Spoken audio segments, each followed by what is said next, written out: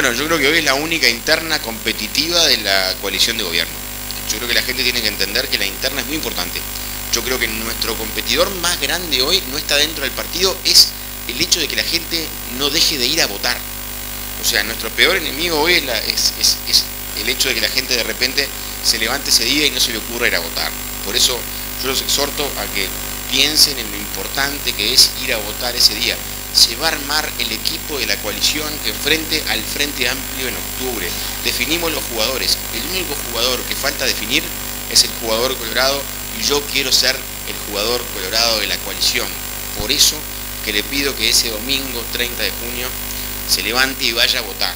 Ojalá esté lindo, ojalá no llueva, pero no hay forma de saberlo. Creo que la gente tiene que dimensionar lo importante que es que vaya a votar. Después de la economía, el segundo tema en importancia es la seguridad. ¿Vos pensás que estás captando también mayoría de votos dentro de la interna del Partido Colorado por esa relación que tenés con el ámbito?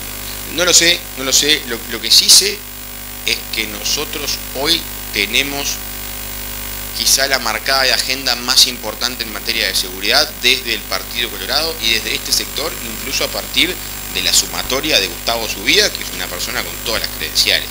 Creo que hoy tenemos la llave para liderar la seguridad pública de los próximos cinco años de la mano de la coalición de gobierno. O sea, si vos mirás, el Frente tuvo una oportunidad en 15 años, destruyó la seguridad del país.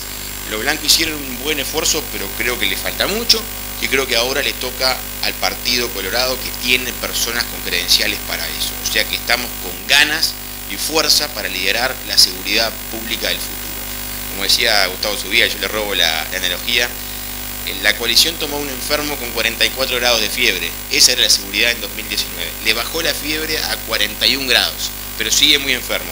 El trabajo de los próximos 5 años es llevarla a 38 para que tenga poca fiebre, pueda ir al baño, pueda comer, pueda salir.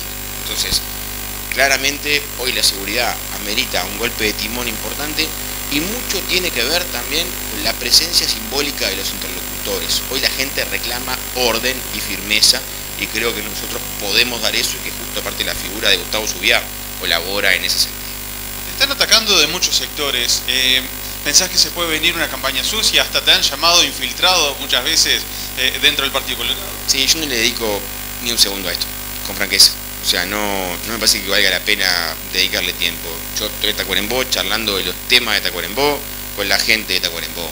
Y lo otro es ruido. Así que nosotros para adelante con el objetivo claro, que es tener un partido unido el primero de julio. Y alguien tiene que cortar el espiral de furia para que esto baje. Entonces yo prefiero pensar en lo importante que es ganarle al Frente Amplio